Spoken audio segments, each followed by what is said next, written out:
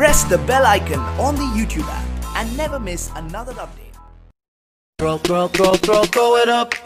Start twerking like Miley. Oh yeah, twerking like Miley.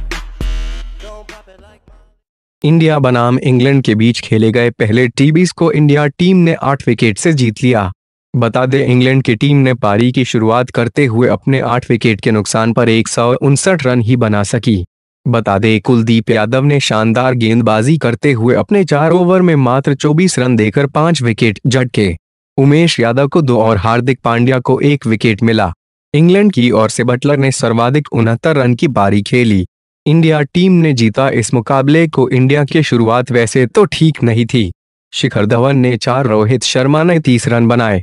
उसके बाद आया के एल, राहुल का तूफ़ान और राहुल शानदार शतकीय पारी खेलकर अपनी टीम को जीत तक लेकर गए।